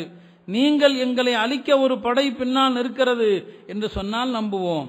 இப்ப பெருமானார் செல்லல்லா அலிஸ்லாம் அவர்கள் சொன்னார்கள் அப்படியானால் என்னை இவ்வளவு நம்புகிற நீங்கள் நான் பொய் சொன்னதில்லை என்று சாட்சி சொல்கிற நீங்கள் இதையும் நம்புங்கள். உங்களுக்கு பின்னால் ஒரு வாழ்க்கை இருக்கிறது இறந்த பிறகு. அதை குறித்து எச்சரிக்கை செய்வதற்குத்தான் அல்லாஹ் என்னை அனுப்பினான் என்று சொன்ன நேரத்திலே தான் பெருமானாருடைய குடும்பத்தில் பெருமானாருக்கு எதிரியாக இருந்த அபூலஹபு சொன்னான் இதற்காகவா எம்மை அழைத்தீர்? உமக்கு நாசம் உண்டாகுக என்று சொன்னான். உடனே அல்லாஹுடைய கோபம் அபூலஹபின் மீது இந்த வசனங்கள் வழியாக இறங்கியது. தப்பத் யதா அபி லஹபின். அபூலஹபுடைய கரங்கள் நாசமாகட்டும் என்ற அவனும் நாசமாகட்டும். அவனுடைய செல்வங்கள் அவன் சம்பாதித்தவைகள் எதுவும் அவனுக்கு பலன் தரப்போவதில்லை அவன் கொழுந்து விட்டறியும் நரகத்தை தான் அடைவான். அவனுடைய மனைவியும் அவளும் நரகத்தை தான் அடைவாள் என்கிற அந்த வசனங்கள் இறங்கியது. ஆக பெருமானார் செல்லல்லா அலைஹி அவர்கள் உறக்க சொல்ல ஆரம்பித்தார்கள். மக்காவிலே கடும் எதிர்ப்பு இருந்த காரணத்தினாலே ஹதரத் அர்க்கம் என்ற ஒரு சஹாபி அவங்களுடைய வீட்டை தான் தேர்வு செஞ்சாங்க. அந்த வீட்டில் தான் குரானுடைய வசனங்கள் முஸ்லிமானவர்களுக்கு போதிக்கப்படும். ஈமானுடைய தாலீம் செய்யப்படும். அல்லாஹ் என்ன கட்டளை பிறப்பிக்கிறானோ அதெல்லாம் அங்கே அர்க்கம் ரதியுல்லானுடைய வீட்டில் தான் சொல்லித்தரப்படும் இந்த நேரத்தில் அப்பாவி மக்கள் அவங்க தான் இஸ்லாத்துக்கு கொஞ்சம் கொஞ்சமாக வந்தாங்க. அடிமைகள் தான் வந்தாங்க. அந்த இஸ்லாத்தை ஏற்ற மக்களுக்கும் எண்ணிலடங்காத தொல்லைகள் கஷ்டங்கள் இருந்துச்சு. அந்த வீட்டில் மறைஞ்சு மறைஞ்சு என்ன அல்லாஹ்வுடைய வசனங்கள் இறங்குதோ அது ஓதி காட்டப்படும். அவங்க எழுதி கொள்வாங்க அல்லது பாடம் பண்ணி கொள்வாங்க. மக்காவிலே பெருமானாருக்கு கடும் எதிர்ப்பு இருந்த நேரத்திலே அவர்களை கடுமையாக எதிர்த்தவர்களிலே உமர் ரதியல்லான் அவர்களும் ஒருவர். உமர் ரதியல்லான் அவர்கள் அறியாமை காலத்திலேயே மிகவும் முரட்டுத்தனமான மனிதர். கோபம். அதிகமாக கோபப்படக்கூடியவர்கள். அவங்க பேரை கேட்டாலே மக்கள் நடுங்குவாங்க. அப்படிப்பட்ட உமர் அவர்கள் ரசூல் சல்லா அலிஸ்லாம் அவர்களை கொலை செய்வதற்காக புறப்பட்டு வந்த நேரத்திலே வழியில் ஒரு சஹாபி பார்த்தாங்க எங்க போறீங்கன்னு சொல்லி. நான் இவரை கொலை செய்ய போகிறேன். மக்காவாசிகளை பிளவுபடுத்தி கொண்டிருக்கிற இந்த மனிதரை கொலை செய்ய போறேன்னு சொல்லி. இப்போ அவங்க சொல்லுவாங்க நீங்க கொலை செய்யணும்னு சொன்னா உங்க சகோதரி உங்க சகோதரியுடைய கணவர் அவங்கள முதல்ல கொலை செய்யுங்க. அவங்க முஸ்லீம் ஆயிட்டாங்கன்னு சொல்லி. இந்த செய்தி உமருக்கு ஆச்சரியமாகவும் அதிர்ச்சியாகவும் இருக்கும். நபியை கொலை செய்வதற்காக போனவர் கோபத்தோடு தன்னுடைய சகோதரி வீட்டுக்கு வருவாங்க. அங்கே பெரு உமருடைய சகோதரியும் அவங்களுடைய கணவரும் குரான் ஓதி கொண்டிருப்பார்கள். அவங்களுக்கு ஹப்பாபிபுன் அரத்துங்கிற சஹாபி குரானை கற்றுக்கொண்டிருப்பாங்க அந்த நேரத்தில் கடும் கோபத்தில் இருந்த உமர் ரதி அவர்கள் தன் சகோதரியை கடுமையாக தாக்குவாங்க. அவங்களுடைய முகத்திலிருந்து ரத்தம் ஒளிந்து கொண்டிருக்கும். அவங்க சொல்லுவாங்க உயிரே போற அளவுக்கு அடித்தாலும் சரி நாங்கள் ஈமானை விட முடியாது. நீர் எவ்வளவு மிரட்டினாலும் சரி. உமர் ரதியல்லான் அவர்களுக்கு சற்று மனம் இலகிவிடும். சகோதரியினுடைய அந்த வார்த்தையை பார்த்து அவங்களுடைய கோலத்தை பார்த்து அப்படியே இலகி போயிடுவாங்க. ஏற்கனவே ரசூல் சல்லா அலிஸ்லாம் அவர்கள் அல்லாஹ்விடத்தில் ஒரு துவா செஞ்சாங்க. எல்லாம் இந்த மக்கமா நகரத்தில் ரெண்டு பெரிய மனிதர்களில் ஒரு மனிதருக்காவது இஸ்லாத்தை ஏற்றுக்கொள்கிற வாய்ப்பை கொடு. ஒன்று அபூஜஹல் இன்னொன்று உமர். இந்த ரெண்டு பேரில் ஒரு ஆள் முஸ்லீம் ஆனால் பெரிய மாற்றம் ஏற்படும் என்று. அந்த துவா உமருடைய விஷயத்தில் கபூல் ஆயிடுச்சு. அபூஜஹல் விஷயத்தில் கபூல் ஆகல. அந்த நேரத்தில் தன்னுடைய சகோதரியின் நிலையை பார்த்த உமர் சொன்னார்கள் நீங்கள் என்னதான் படிக்கிறீர்கள் அதை எனக்கு காட்டுங்கள் நானும் பார்க்கட்டும். அவங்களுடைய சகோதரி சொன்னாங்க இல்லை நீங்கள் அதை படிக்க முடியாது. நீங்க அதை தொட முடியாது. நீர் இணை வைப்பாளராக இருக்கிறீர் அசுத்தமானவராக இருக்கிறீர். நீங்கள் போய் குளித்து விட்டு வாருங்கள். உமர் அவர்களும் குளித்து விட்டு வந்தார்கள். பிறகு அவர்கள் கையில் இருந்த குரானை எடுத்து வாங்கி பார்த்தார்கள். சூரா தாஹா என்ற அந்த சூறாவை தான் அவங்க ஓதிட்டு இருந்தாங்க. அந்த சூறாவை அப்படியே வாசித்து பார்க்கிறார்கள். உமர் ரதியுல்லானுடைய மனம் இலகி விடுகிறது. நேராக அங்கிருந்து புறப்பட்டு தாரை அர்க்கம் அரக்கம் ரதியுல்லானுடைய வீடு எங்க சஹாபாக்கள் எல்லாம் மார்க்கத்தை கற்றுக்கொள்வார்களோ அந்த வீட்டுக்கு வருகிறார்கள். அங்கே வந்து பெருமனார் செல்லல்லா அலிஸ்லம் அவர்களும் அங்கே இருக்கிறாங்க. கதவு தட்டப்படுது. வந்திருப்பது உமர் என்பது தெரிந்துவிட்டது. மக்களுக்கெல்லாம் ஒரு அச்சம் என்ன செய்வாரோ என்று பெருமனார் செல்லல்லா அலிஸ்லம் அவர்கள் சொன்னார்கள் பயப்பட தேவையில்லை கதவை திறந்து விடுங்கள். திறந்தால் ஹசரத் உமர் ரதியுல்லான் அவர்கள் கலிமா சொல்லி முஸ்லீமானார்கள் அவங்க முஸ்லீமான பிறகு சொன்னாங்க இனி யாரும் பயந்து மறைந்து நீங்க மார்க்கத்தை கற்றுக்கொள்ளணும்னு தேவையில்லை. இனி பகிரங்கமாக காபாவுக்கு செல்வோம். பகிரங்கமாக அல்லாவை தொழுவோம். பகிரங்கமாக குரான் ஓதுவோம் என்று மக்களுக்கு ஒரு தைரியத்தை கொடுத்தார்கள். இது பெரும. ஹதரத் உமர் ரதியல்லான் அவர்கள் இஸ்லாத்தை ஏற்ற பிறகு நடந்தது. மக்காவுடைய இந்த வாழ்க்கையிலே பலவிதமான கஷ்டங்கள் தொல்லைகள் ஒரு கட்ட ஒரு காலகட்டத்திலே மக்காவுடைய தலைவர்கள் எல்லாம் பெருமானாருடைய பெரிய தந்தை ஹதரத் அபு தாலிபிடத்தில் நீங்கள் முகம்மது அவர்களை எங்கள்கிட்ட ஒப்படையுங்கள். நாங்கள் அவர்களை கொல்ல வேண்டும் என்று சொல்றாங்க. அபு தாலிப் கடைசி வரைக்கும் தன்னுடைய ஒத்துழைப்பை தன்னுடைய உதவியை நிறுத்தலை. அதனால தான் அவர் காஃபிரா மரணித்தாலுமே கூட நரகவாதிகளில் ரொம்ப குறைந்த வேதனை யாருக்குன்னா அபு தாலிபுக்கு தான் அவர் பெருமானாருக்கு செய்த உதவியின் காரணமாக ரசூல் சல்லா அலிஸ்மனுடைய பரிந்துரையின் காரணமாக நரகவாதிகள்ல குறைஞ்ச வேதனை அபு தாலிபுக்கு தான். ஒரு நெருப்பினால் ஆன செருப்பு தான் அவருக்கு அணிவிக்கப்படும். இதான் குறைஞ்சபட்ச வேதனை நரகத்துல என்று பெருமானார் சொன்னாங்க. அபு தாலிப் தன்னுடைய சகோதரர் மகனை ஒப்படைக்க முடியாதுன்னு சொல்லிட்டாங்க. ஒரு கட்டத்தில் மக்காவாசிகள் எல்லாம் சேர்ந்து அப்படியானால் இந்த முஹம்மத் அவரை உதவி செய்யக்கூடிய அவரு அவருக்கு உதவி செய்யக்கூடிய அவருடைய குடும்பம் அவரை கொண்டு ஈமான் கொண்டவர்கள் எல்லோரையும் மக்காவை விட்டு வெளியேற்ற வேண்டும் என்ற ஒரு முடிவுக்கு வர்றாங்க. இப்போ அபு தாலிப் அவர்கள் தன்னுடைய குடும்பம் பனு ஹாஷிம் தன்னுடைய சகோதரர் குடும்பம் பனு முத்தலிம் இரண்டு குடும்பங்களையும் அழைத்து கேட்கிறாங்க நீங்கள் யாரோடு இருக்க போகிறீர்கள்? முகமது சல்லா அலிஸ்லாம் அவங்களுக்கு ஆதரவாகவா? அல்லது இந்த குறைஷிகளுக்கு ஆதரவாகவா? அவங்க எல்லாரும் சொன்னாங்க நாங்கள் எல்லாம் முகமது சல்லா அலிஸ்லாம் அவங்களுக்கு ஆதரவு. இத்தனைங்க அவங்க எல்லாரும் முஸ்லீம் ஆகலை. அவங்க யாரும் எல்லாருமே முஸ்லீமா சில பேர் முஸ்லீம் பல பேர் காஃபிர். ஆனாலும் பெருமானாருக்கு உதவி செய்வதாக வாக்குறுதி கொடுத்தாங்க. அபூலஹப தவிர பெருமானாருடைய குடும்பத்தில் அவங்களை எதிர்த்த ஒரே நபர் அபூலஹப் மற்ற எல்லாருமே ஆதரவு கொடுக்கிறோம் என்று சொன்னார்கள். மக்காவாசிகள் பெருமானாரையும் அவர்களுக்கு ஆதரவளித்தவர்களையும் ஒதுக்குனாங்க. ஒரு கணவாயில கொண்டு போய் தள்ளுனாங்க. மூன்றாண்டு காலங்கள் அந்த கணவாயில மிகவும் சிரமப்பட்டார்கள். மக்காவாசிகள் ஒரு ஒப்பந்தம் எழுதினார்கள். இவர்களோடு யாரும் எந்த தொடர்பும் வைக்கக்கூடாது. திருமண தொடர்பு வியாபார தொடர்பு எதுவும் இருக்கக்கூடாது. அந்த ஒப்பந்தத்தை காபாலையும் எழுதி மாட்டினாங்க. மூன்றாண்டு காலங்கள் கஷ்டப்பட்ட போது பெருமானாருக்கு அல்லாஹ் வகை மூலமாக சொன்னா உங்களுக்கு விரைவிலேயே நிம்மதி கிடைக்க போகிறது. அவர்கள் காபாவிலே தொங்கவிட்ட அந்த ஒப்பந்தத்தை கரையான் தின்று விட்டதுன்னு சொல்லி. இதை நபிசல்லா அலிசன் அவர்கள் அபு தாலிபிடத்தில் சொன்னாங்க. அபு தாலிப் மக்காவாசிகள்கிட்ட சொன்னாங்க. மக்காவாசிகள் அது உண்மையானால் உங்களை எல்லாம் வெளியேற்றி உங்களை எல்லாம் மக்காவுக்குள் அனுமதிப்போன்னு சொன்னாங்க. அதே மாதிரி அவர்களை போய் பார்த்த நேரத்தில் அதை கரையான் தின்று விட்டிருந்தது. பிறகு மீண்டும் மக்காவிற்குள் வந்தார்கள். இப்படி பலவிதமான இன்னல்கள் கஷ்டங்களை சந்தித்து கொண்டிருந்த நேரத்தில் தான் ரெண்டு பேர் பெருமானார் செல்லல்லா அலிஸ்லாம் அவங்களுக்கு ஆறுதலாக இருந்த அபு தாலிப் அன்னை ஹதீஜா. ரெண்டு பேருமே அடுத்தடுத்து ஒஃபாத் ஆயிட்டாங்க. இந்த வஃபாத்துக்கு பிறகு பெருமனார் செல்லல்லா அலிஸ்லாம் அவர்கள் நிலைகுலைந்து போயிருந்தாங்க. பக்கத்தில் உள்ள தாயிஃப் நகரத்துக்கு போனாங்க. அங்கேயாவது இந்த மக்கள் இஸ்லாத்தை ஏற்றுக்கொள்வார்களா என்று. அங்கே சென்றால் அங்கேயும் அந்த மக்களும் விரட்டி அடித்தார்கள். பிறகு அங்கிருந்து மறுபடியும் மக்கா வந்த நேரத்தில் தான் அல்லாஹலா அவர்களுக்கு ஆறுதலாக மேராஜ் என்கிற அந்த விண்ணுலக பயணத்தினுடைய வாய்ப்பை கொடுத்தான். சொர்க்கம் நரகம் எல்லா அற்புதங்களையும் கண்டாங்க. அல்லாவோடு பேசினார்கள். தொழுகையை வாங்கிவிட்டு வந்தார்கள். இதுவெல்லாம் அங்கே நடந்த விஷயங்கள். பிறகு முஸ்லிம்கள்ல சில பேர் அபிசினியாங்கிற நாட்டுக்கு எத்தியோப்பியா இன்றைக்கு அதை எத்தியோப்பியான்னு சொல்லுவாங்க. அங்க சில சஹாபாக்களை பெருமானார் செல்லல்லா அலிஸ்லாமர்கள் ஹிஜரத் செய்ய சொன்னாங்க. அந்த நாட்டுடைய கிறிஸ்தவ மன்னர் நல்ல மன்னர். நீங்க எல்லாரும் அங்க போங்கன்னு சொன்னாங்க. இப்படியாக இருக்கிற நேரத்திலே மக்காவிலே கடுமையான துயரங்கள் கஷ்டங்களுக்கு மத்தியில் போய் கொண்டிருக்கிற நேரத்தில் நபித்துவத்தின் பதினோராம் ஆண்டு. ஒவ்வொரு ஆண்டும் ஹஜ்ஜுடைய காலம் வரும். அரபுகள் ஹஜ்ஜுக்கும் வருவார்கள். பெருமனார் செல்லல்லா அலைஹி அவர்கள் மினாவில் போய் தனக்கு வழங்கப்பட்ட நபித்துவத்தை சொல்லுவாங்க. யாருமே ஏற்றுக்கொண்டது கிடையாது.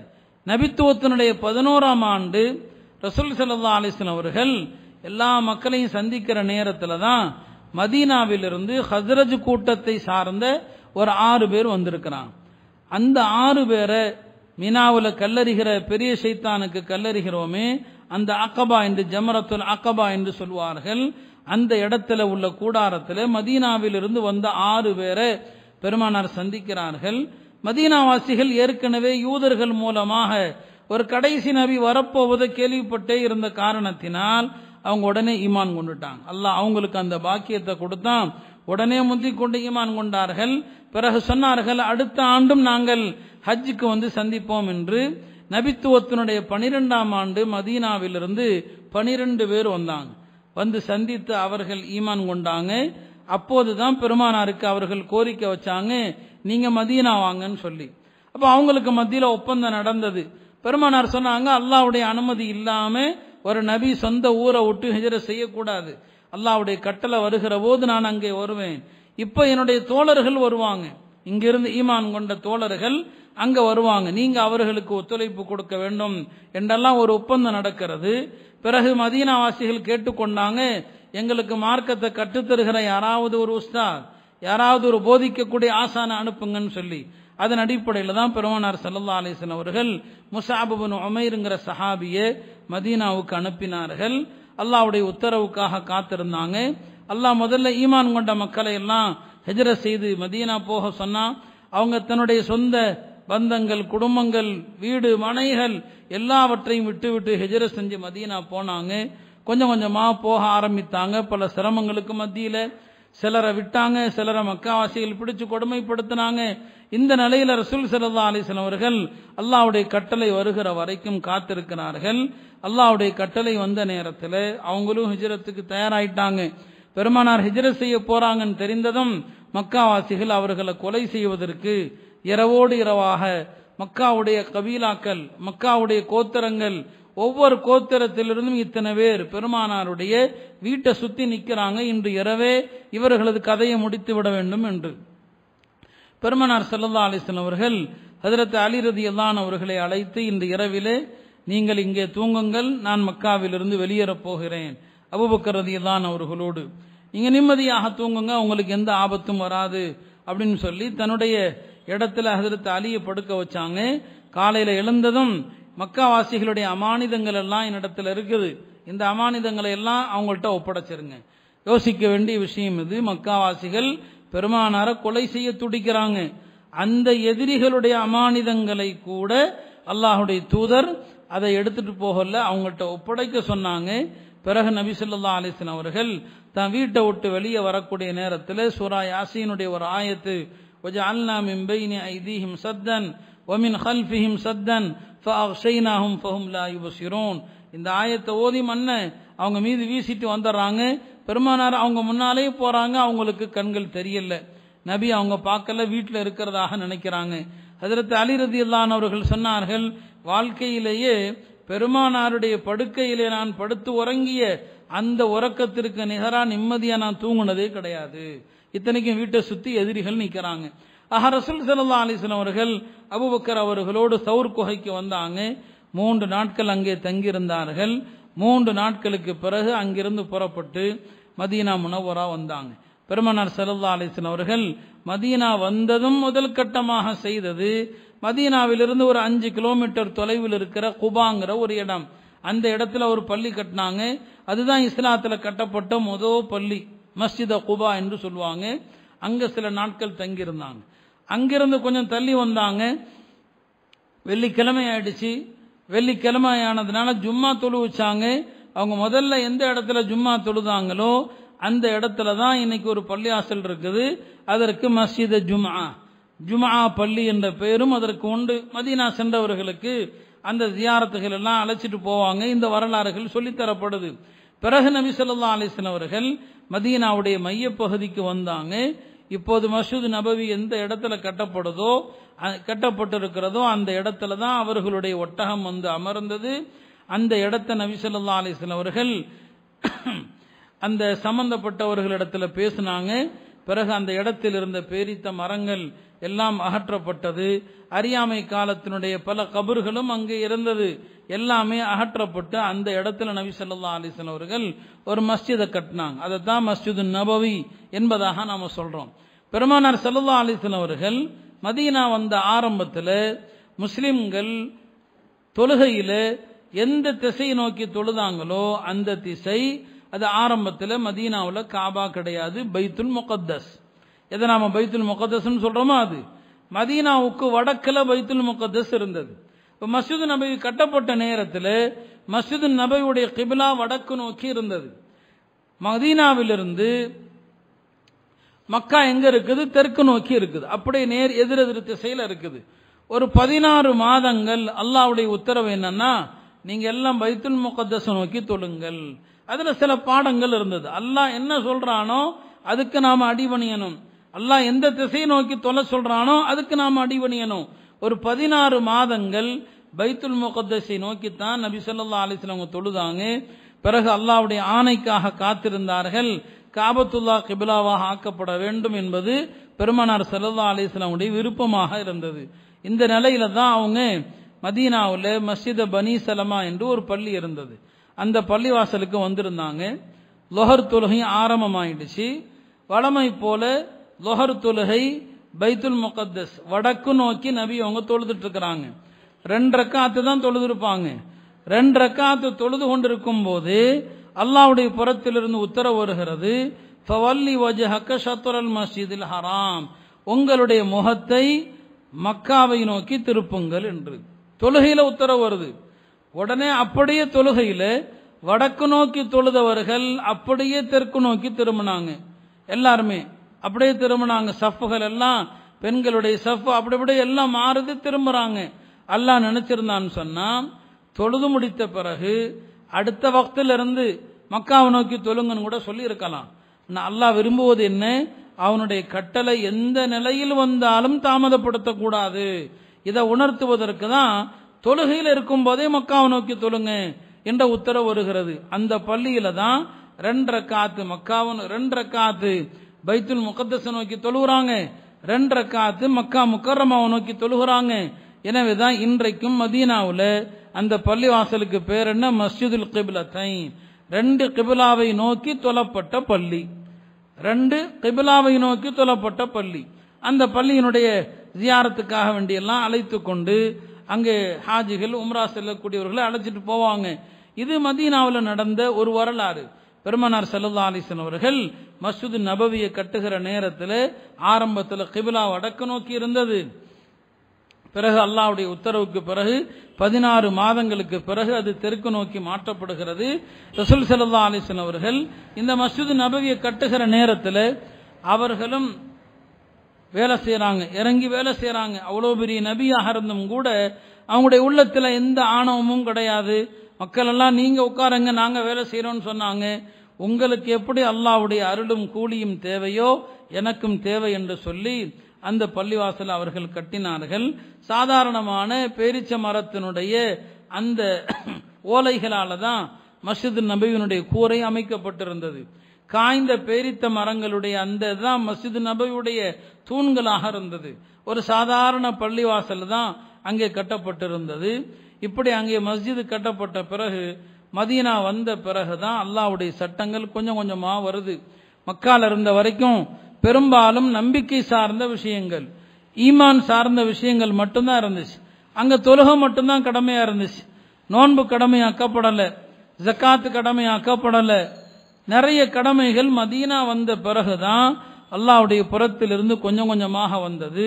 அன்சாரிகள் ஒரு பக்கம் தியாகம் செஞ்சாங்க வந்திருக்கிற முஹாஜிர்கள் மக்காலிருந்து வந்திருக்கிறவர்களுக்கு எல்லா வகையிலும் தியாகம் செஞ்சாங்க. அதனாலதான் நபி ஸல்லல்லாஹு அலைஹி அவர்கள் சொல்வார்கள் ஹுப்புல் அன்சாரி மினல் ஈமான். அன்சாரிகளை நேசிப்பது ஈமானுடைய அடையாளம். யார் அன்சாரிகளுக்கு தொந்தரவு கொடுக்கிறார்களோ அவர்களை முனாஃபிக்குன்னு சொன்னாங்க.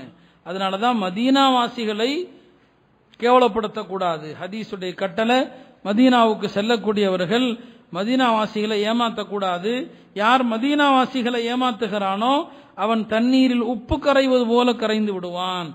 இதெல்லாம் யாருக்காக சொன்னாங்க? அன்சாரிகளை கண்ணியப்படுத்துவதற்காக. ரசூல் சல்லா அலைஹி அவர்கள் இந்த அன்சாரிகளுக்காக துவா செஞ்சாங்க. எல்லாம் இந்த அன்சாரிகள் இவர்களுடைய பிள்ளைகள் அவங்களுடைய பிள்ளைகளுடைய பிள்ளைகள் எல்லோரையும் மன்னிப்பாயாக துவா செஞ்சாங்க. அவ்வளவு தூரம் அவர்கள் உதவிகள் செஞ்சாங்க. பெருமானாருக்கு மட்டுமல்ல மக்காவிலிருந்து வந்த எல்லா தோழர்களுக்கும் உதவி செய்த பெருந்தகைகள் அன்சாரிகள். இந்த வாழ்க்கை வரலாறும் அதற்காக தான் நாமும் தீனுக்கு உதவி செய்யக்கூடிய அந்த அன்சாரிகளாக மாறிவிட வேண்டும். பிறகு ஹிஜ்ரி இரண்டாம் ஆண்டு அல்லாஹ்வுடைய புறத்திலிருந்து நிறைய கட்டளைகள் வருகிறது. நோன்பு கடமையாக்கப்படுகிறது. ஜக்காத்துடைய சட்டம் வருகிறது. சதகத்துல் ஃபித்ருடைய சட்டங்கள் வருகிறது. அடுத்தடுத்து நிறைய சட்டங்கள் ஹிஜிரி இரண்டாம் ஆண்டு கடமையாக்கப்பட்டதாக நாம் சரித்திரத்திலே பார்க்கிறோம். அதே ஹிஜிரி இரண்டாம் ஆண்டு தான் பதுரு போர் நடக்கிறது. முஸ்லிம்களுக்கு அல்லாஹால அதுல மகத்தான வெற்றியை கொடுக்கிறான். ஹிஜிரி மூன்றாம் ஆண்டு ஒஹது போர் நடக்கிறது. அந்த ஒஹது போரிலும் முஸ்லிம்களுக்கு தான் ஆரம்பத்திலே வெற்றி. ஆனால் முஸ்லிம்கள் செய்த ஒரு சின்ன தவறுனால அல்லாஹ் தோல்வியை கொடுத்தான். பெருமனார் செல்லல்லா அலிஸ்லாம் அவர்கள் ஒஹதுல ஒரு மலை கொண்டு இருக்கிறது. இன்றைக்கும் அங்கே செல்பவர்கள் பார்க்கலாம். அதை ஜபலுர் ருமாத் என்று சொல்வார்கள். அம்பரி வீரர்கள் நிறுத்தப்பட்ட மலை என்று அதற்கு சொல்லப்படும். ஒரு ஐம்பது பேரை அப்துல்லாஹிபின் ஜுபைருங்கிற ஒரு சஹாபி தலைமையில இந்த மலை குண்டின் மீது நில்லுங்கள் என்று பெருமானார் உத்தரவிட்டாங்க. என்னுடைய உத்தரவு வருகிற வரைக்கும் யாரும் கீழே இறங்கக்கூடாதுன்னு சொன்னாங்க. முஸ்லிம்கள் வெற்றி பெற்றாலும் தோல்வி அடைந்தாலும் நீங்க வரக்கூடாதுன்னு சொன்னாங்க. அப்படி ஐம்பது பேரை நிறுத்தி இருந்தாங்க. போர்ல முஸ்லிம்களுக்கு வெற்றி ஆரம்பத்தில் கிடைத்தது. எதிரிகள் விட்டுட்டு போன செல்வங்களை எல்லாம் எடுக்க ஆரம்பிச்சாங்க முஸ்லிம்கள். இதை பார்த்த அந்த குண்டிலே நிறுத்தப்பட்ட வீரர்கள் மனசுல பலவீனம் வந்துருச்சு. எல்லாம் எதிரிகளுடைய பொருள்களை பொறுக்கிறாங்க. நாமளும் எடுக்கலாம்னு சொல்லி எல்லாம் இறங்குறாங்க. அவங்களுடைய அமீர் தடுக்கிறாரு வேண்டாம். ஆனாலும் அவர்கள் பெருமானாருடைய பேச்சை மறுத்துவிட்டு வந்ததுனால பெரிய ஒரு தோல்வி அதற்கு பிறகு அல்லாஹலா கொடுத்தான். ரசூல் சல்லா அலிஸ்லாம் அவர்களுடைய ஒரே ஒரு கட்டளையை மீறியதற்காக அந்த போரில் எழுபது முஸ்லிம்கள் ஷஹீதாக்கப்பட்டாங்க. இப்போ நாம வாழ்க்கையில எத்தனையோ கட்டளைகள் எத்தனையோ பெருமானார் செல்லல்லா அலிஸ்லாம் அவர்களுடைய ஏவல்களை மீறி கொண்டிருக்கிறோம். அருமையானவர்களே பெருமானார் செல்லல்லா அலிஸ்லாம் அவர்களுடைய வாழ்க்கையிலே நடந்த இந்த முக்கியமான நிகழ்வுகள் ஹிஜ்ரி மூன்றாம் ஆண்டு உகது போர் நடக்கிறது. அதில் அல்லாஹத்தலா ஒரு படிப்பினைக்குரிய ஒரு சில சம்பவங்களையும் நடத்துகிறான். எல்லாம் அல்ல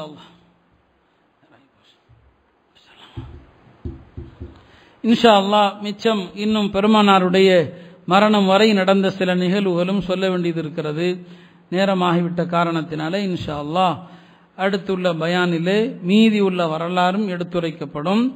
ரசூல் சல்லா அலிஸ்லமுடைய முழு வாழ்க்கை முழு சரித்திரத்தையும் நாம படிக்கணும். அழகான எத்தனையோ நூல்கள் தமிழ்லையும் வந்திருக்குது. நாம அதை படிக்கணும். நம்முடைய பிள்ளைகளுக்கு படித்து காட்டணும்.